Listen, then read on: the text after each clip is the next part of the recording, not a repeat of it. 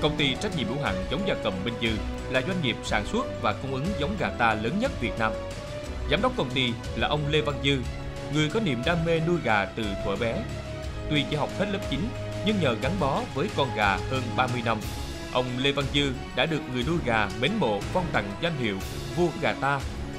Không chỉ lãnh đạo tỉnh Bình Định mà cả lãnh đạo Bộ Nông nghiệp và Phát triển nông thôn, Ủy ban Khoa học Công nghệ và Môi trường của Quốc hội khi về thăm công ty Minh Dư cũng phải trầm trồ khen ngợi thành tích đặc biệt xuất sắc của ông. Đó là việc ông đã tìm tòi nghiên cứu, thu thập các giống gà ta nổi tiếng của Việt Nam để chọn tạo thành công giống gà phù kỵ. Từ đó cho ra tổ hợp lai ba giống gà ta, tức gà nội, bao gồm MG1 BD, MG2 BD, MG3 BD. Ba giống gà này có năng suất, chất lượng, hiệu quả vượt trội, phù hợp thị trường chăn nuôi cũng như thị hiếu người tiêu dùng Việt Nam và thế giới, đã được Bộ Nông nghiệp và Phát triển Nông thôn công nhận là tiến bộ kỹ thuật công nghệ mới năm 2017. Dẫn đầu top 10 sản phẩm vàng chăn nuôi Việt Nam năm 2018, được Trung ương Hội Nông dân Việt Nam công nhận là sản phẩm nông nghiệp tiêu biểu 5 năm liền. Được Ủy ban Nhân dân tỉnh Bình Định chứng nhận là sản phẩm ô cốp đạt chuẩn 5 sao.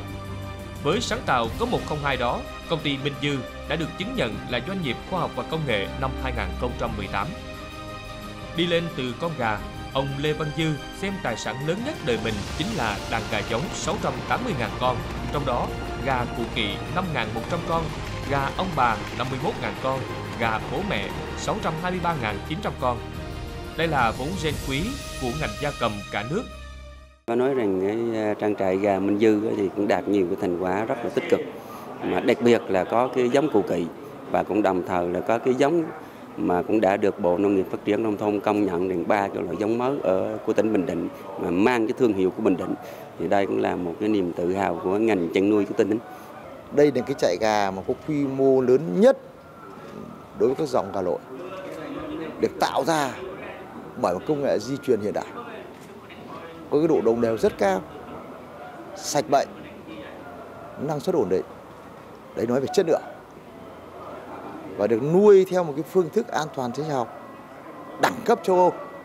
Về việc xuất sản phẩm đi các nước, bộ sẽ chỉ đạo cục thú y phối hợp cùng với sở bên tỉnh và công ty Minh Dư để làm những cái khu vực mà an toàn dịch bệnh theo chuẩn của OIE là tổ chức thú y thế giới để chúng ta có điều kiện xuất đi các nước vì cơ bản là chất lượng đàn giống, phương thức chăn nuôi an toàn giao cơ bản đạt rồi.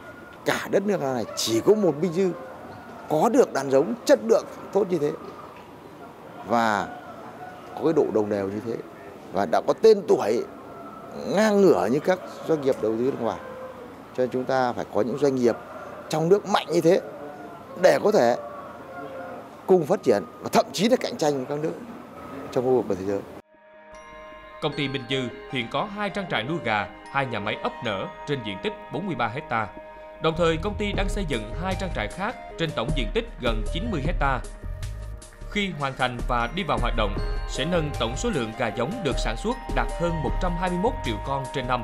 Trong đó, gà giống bố mẹ trên 2,7 triệu con trên năm và gà giống thương phẩm một ngày tuổi gần 119 triệu con trên năm. Ngoài ra, công ty còn xây dựng nhà máy chế biến thịt gia cầm với công suất khoảng 5,76 triệu con gà thịt thương phẩm trên năm, chế biến ra 8.640 tấn thịt gà cấp đông để xuất khẩu. Hiện nay, gà giống Minh Dư một ngày tuổi đã có mặt trên mọi miền của đất nước và xuất khẩu. Năm 2019, sản lượng gà giống thương phẩm đạt 50 triệu con, chiếm hơn 20% thị phần giống gà ta cả nước. Trong đó, 95% tiêu thụ trong nước và 5% xuất khẩu. Công ty cũng đã được các tập đoàn nổi tiếng thế giới như Belga của Bỉ, Saxo của Pháp đề nghị hợp tác đầu tư phát triển giống gà ta Minh Dư trong nước và trên thế giới. Theo kế hoạch, năm 2021, công ty Minh Dư xuất khẩu gà giống sang các nước Lào, Campuchia, Bangladesh, Indonesia, Malaysia và Myanmar. Năm 2022 sẽ mở rộng thị trường xuất khẩu gà giống sang các nước châu Á khác và châu Âu. Tất cả đều bắt nguồn từ chất lượng con giống gà ta rất tốt. Khu vực này là đa số hết 90% người ta sử dụng giống gà Minh Dư là nó có nhiều cái ưu điểm. Cái ưu điểm thứ nhất là cái gà con nó rất là đồng đều. Thứ hai nữa là khi mà mình bán xuất bày á là cái tỷ lệ gà còi rất ít. Thứ ba là cái ờ, lông nó ôm mà màu nó nó, nó đẹp. Ừ, thứ bốn là nó đề kháng bệnh rất là tốt. Và cái ờ, thị trường này là lái rất là ưa chuộng. Công ty Minh Dư có hệ thống chuồng trại được xây dựng theo công nghệ tiên tiến nhất của châu Âu. Kiểu chuồng nuôi kín theo hướng an toàn sinh học, được trang bị hệ thống làm mát, kiểm soát nhiệt độ, ẩm độ, áp suất, CO2 và chiếu sáng phù hợp với yêu cầu phát triển của mọi lứa tuổi gà, cùng với hệ thống cho ăn uống hoàn toàn tự động. Nhà máy ấp hiện đại có công suất hơn 4 triệu con trên tháng, với hệ thống máy ấp nở, máy tiêm vaccine và hệ thống kiểm soát không khí tự động. Hiện tại, công ty đang hoàn thiện nhà máy ấp mới, công suất hơn 6 triệu con trên tháng, được đầu tư theo công nghệ 4.0 của Bỉ. Máy ấp nở có các thiết bị kiểm soát được nhiệt độ của phôi, kiểm soát mất trọng lượng của trứng, kiểm soát cho gà nở đồng loạt, kiểm soát nhiệt độ, ẩm độ, CO2 trong buồng máy. Hệ thống dây chuyền thiết bị tự động robot trang bị ở những khâu thao tác quan trọng và phức tạp như nhận trứng, so chuyển nở và ra gà.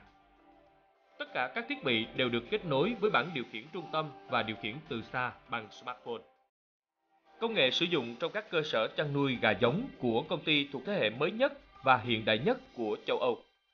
Định kỳ hàng năm, công ty Minh Dư đều mời các chuyên gia giỏi trong và ngoài nước tiến hành đào tạo bồi dưỡng đội ngũ cán bộ quản lý và kỹ thuật, nâng cao năng lực quản lý vận hành hệ thống các nhà máy, phát huy hiệu quả cao nhất, cho ra con giống có chất lượng tốt nhất. Có thể nói, mạnh dạn đầu tư công nghệ hiện đại hàng đầu thế giới và chọn tạo con giống gà nội có chất lượng cao nổi tiếng thế giới là mối quan tâm hàng đầu và xuyên suốt 30 năm qua của ông Lê Văn Dư. Công ty Minh Dư chúng tôi là quan tâm nhất là cả hai vấn đề lớn. Vấn đề thứ nhất là về cái con giống phải có một cái con giống đặc thù và đặc biệt. Riêng ở Việt Nam mình là phải quan tâm đến cái con gà nội. Từ đó nên tôi đã dày công đầu tư nghiên cứu trên 30 năm đỡ có những ờ, ba cái giống gà cụ thể là Minh Dư 1 Bình Định, Minh Dư 2 Bình Định, Minh Dư 3 Bình Định đã được Bộ Nông nghiệp Phát triển Nông thôn công nhận tiến bộ kỹ thuật công nghệ mới năm 2017. Đó là một cái tiền đề, cũng là cái cốt lõi để có một cái sản phẩm đặc thù và được thị trường trong nước cũng như là ngoài nước là ưa chuộng. Vấn đề thứ hai là quan tâm đến cái ờ, công nghệ, những thiết bị công nghệ để phục vụ cho trong trang trại chăn nuôi cũng như là trong nhà máy ấp nữa để sản xuất con giống. Công ty đang và sắp tới cũng đã đầu tư thêm là cái công nghệ cao 4.0 để tăng cái quy mô sản xuất và kiểm soát được cái an toàn sinh học và để cái chất lượng con giống nó được tốt hơn. Với những sáng tạo và đóng góp có ý nghĩa cho ngành chăn nuôi gia cầm cả nước, cá nhân ông Lê Văn Dư đã được đón nhận nhiều phần thưởng cao quý của Đảng và Nhà nước, huân chương lao động hạng nhì và hạng ba, bằng khen của Thủ tướng Chính phủ, cùng nhiều danh hiệu cao quý khác. Ông được tôn vinh là nhân tố thời đại Hồ Chí Minh, là doanh nhân xuất sắc đóng góp cho khoa học và công nghệ lĩnh vực chăn nuôi gia cầm và là doanh nhân tiêu biểu vì sự nghiệp phát triển nông nghiệp và nông thôn. Nhưng phần thưởng đặc biệt nhất đối với vua gà ta, Lê Văn Dư, vẫn là niềm tin của người chăn nuôi gà trên giải đất hình chữ S, cũng như các nước trong khu vực ASEAN và thế giới.